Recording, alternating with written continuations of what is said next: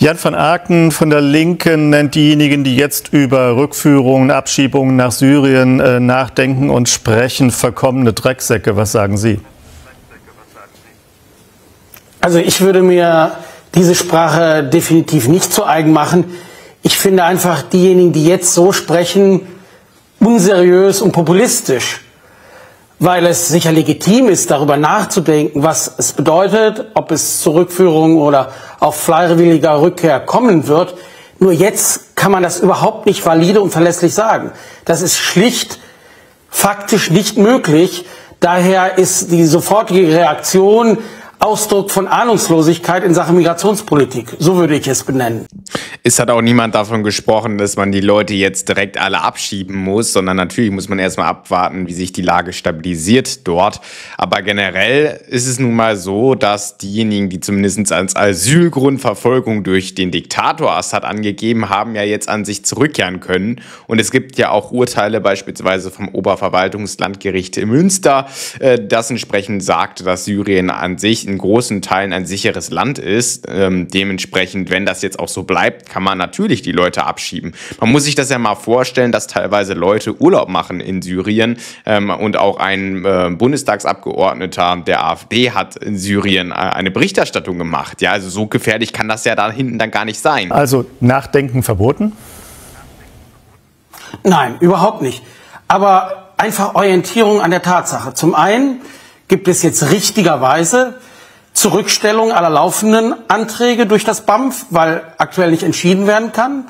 Und wenn die Lage sich geklärt hat, verstetigt hat, wird es unter Umständen eine neue Entscheidungspraxis geben. Die kann dann so aussehen, dass es zum Beispiel nicht mehr serienweise Entscheidungen für subsidiären Schutz und teilweise auch Flüchtlingsschutz gibt, aber das muss man abwarten. Nein, das muss man nicht alles abwarten. Der subsidiäre Schutz wurde von zahlreichen Landesoberverwaltungsgerichten bereits gekippt oder in Frage gestellt. Das sind auch am Ende immer Einzelfallentscheidungen, die aber von der Gesamtlage abhängen. Und zum anderen geht es dann natürlich um die Hunderttausenden von Syrern, die noch mit Schutzstatus in Deutschland sind. Und dann wird zu klären sein, gibt es Widerrufsverfahren des BAMF?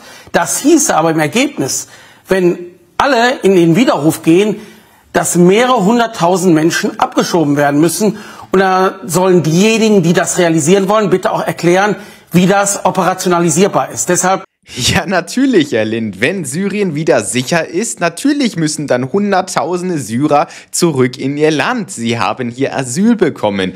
Das heißt, sie haben kein dauerhaftes Bleiberecht, ja? Und dann müssen sie natürlich in ihre Heimat zurückkehren. Und da sollten wir natürlich mit denen anfangen, die hier straffällig sind. Die sollten wir jetzt eh schon abschieben.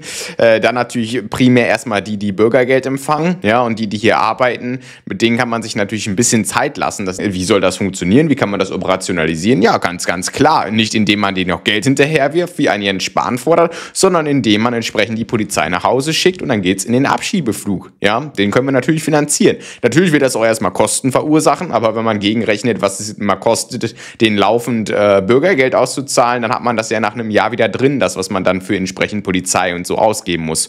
Vielleicht sollte man das auch mal nicht nur der Polizei überlassen, sondern eine neue Behörde gründen die sich nur für Remigration einsetzt. Also eine Remigrationsbehörde, äh, die entsprechend äh, Beamten abstellt, die dann Leute verfolgen und äh, entsprechend abschieben. Ja, wäre auch mal ein Vorschlag. Das muss ja nicht jetzt ein voll ausgebildeter Polizist machen, der gegebenenfalls anders besser hm, genutzt werden könnte. Bin ich dafür, Schritt für Schritt vorzugehen und vor allem auch zu klären, wie das Ganze funktionieren soll. Ja, das klingt logisch, ist sicherlich mit den anderen von der Gegenseite auch sicherlich besprechbar. Gehe ich mal von aus. 47.000 im Asylverfahren, die jetzt gestoppt werden oder on hold gesetzt werden, das finden Sie praktikabel und richtig, auch mit den Fristen? Ja, das finde ich richtig. Von den 47.000 oder etwas über 47.000 sind es allein 46.000 Erstanträge. Die andere Zahl sind sogenannte Folgeanträge.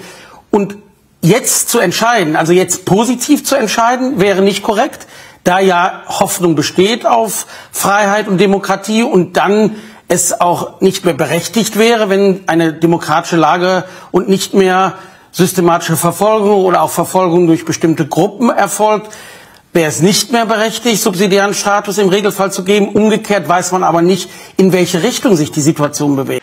Nee, man sollte die Leute einfach direkt jetzt ablehnen, ja, weil es gibt ja Urteile von Gerichten, die sagen, Syrien ist sicher. Und man sollte vor allen Dingen auch mal hinterfragen, sind es überhaupt alles Syrer? Und man sollte auch mal hinterfragen, warum kommen die jetzt? Warum erst jetzt? Ich meine, der Bürgerkrieg, der ist ja, glaube ich, schon seit 2015 in Syrien oder noch länger. Warum kommt man auf die Idee, neun Jahre später in einem anderen Land Asyl zu beantragen? Also wo hat man sich die letzten neun Jahre aufgehalten? War man ein Großteil dieser Jahre in Syrien? Dann kann es ja auch nicht so schlimm gewesen sein. Dann ist es nichts anderes als eine ja, Art der Wirtschaftsmigration. Und hier kommen wir auch wieder zum Punkt, was wir vor allen Dingen machen müssen, ist immer diese Pull-Faktoren zu stoppen, nur noch Sachleistung für Migranten und dann die nächste Sache, also für, für Asylbewerber meine ich in diesem Fall, ne, nicht für irgendwelche Wirtschaftsmigranten, äh, die hier legal in Deutschland sind, das ist ja eine ganz andere Nummer. Und da muss man halt einfach auch mal hinterfragen, ne, hinsichtlich offener Grenzen und so, wie kann es sein, dass die überhaupt alle nach Deutschland gekommen sind? Wir müssen endlich mal zurückweisen an den Grenzen. Es kann nicht sein, dass die Leute durch ganz Europa spazieren, in zahlreichen sicheren Herkunftsländern sind und dann aber in Deutschland ihren Asylantrag stellen sind in unserer Gesellschaft. Äh, was machen wir denen für ein Angebot, hier zu bleiben? Ich habe heute gerade über das Thema mit Leuten gesprochen und es macht aus meiner Sicht doch überhaupt keinen Sinn, jetzt Leute, die schon lange hier sind.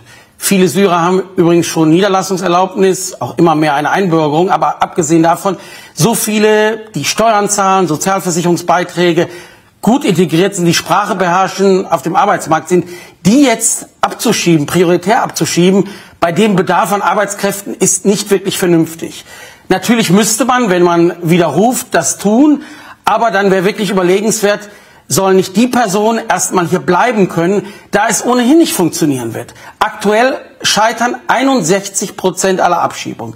Im letzten Jahr wurden ungefähr 16.000 Leute abgeschoben. Bis Ende September dieses Jahres sind von 38 Abschiebungen bundesweit 61 Prozent gescheitert. Das heißt, es ist weder umsetzbar noch sinnvoll. Und wenn wir uns konzentrieren wollen, wie ja immer gesagt wird, insbesondere auf Gefährder, Leute, die straffällig geworden sind und andere, dann ist, glaube ich, die Gruppe gut integrierter Syrer, gut integrierter syrischer Familien, die hier arbeiten und leben, nicht die Gruppe, an deren Abschiebung man jetzt zuerst denken soll. Also ganz, ganz klar müssen natürlich Straftäter jetzt schon nach Syrien abgeschoben werden und als nächstes sollte man natürlich die ganzen Bürgergeldempfänger abschieben, gar keine Frage. Die sind ja auch meistens deutlich weniger integriert. Ähm, ja, mit den entsprechenden, vor allen Dingen Familien, die allerdings sich gut integrieren und auch kein Bürgergeld beziehen, kann man natürlich etwas länger warten. Und man könnte auch darüber überlegen, ob man äh, entsprechend Möglichkeiten schafft, dass sie hier regulär bleiben dürfen ähm, über entsprechende Verfahren, die dann aber nicht über das Asylverfahren läuft. Denn das Asyl gibt einem ja keinen Grund, länger in Deutschland zu bleiben, nur ähm, äh, wenn es im, im Heimatland wieder sicher ist. Ja? Das heißt, wir dürfen auch hier nicht die falschen Anreize setzen und ähm, ja, sag ich mal, der ganzen Welt die Hoffnung machen, ja, wenn du über die Asylschiene nach Deutschland gelangst dann, äh, und Glück hast und dich gut integrierst und so, dann kannst du hier bleiben. Äh, so ist es ja nicht. Also so soll es ja nicht passieren. Ne? Gleich geht es mit dem Video weiter, doch ich möchte an dieser Stelle einmal vielen Dank sagen an alle Kanalmitglieder, welche meine unabhängige journalistische Tätigkeit hier mit einer Anti-GEZ-Gebühr unterstützen. Und ein ganz besonderer Dank geht heraus an Trinkwasserverleih, welcher ja eine Anti Anti-GEZ Super Premium-Mitgliedschaft abgeschlossen hat, sowie einem Detlef Horn, welcher sogar Ehrenmitglied von diesem Kanal geworden ist. Vielen, vielen Dank dafür.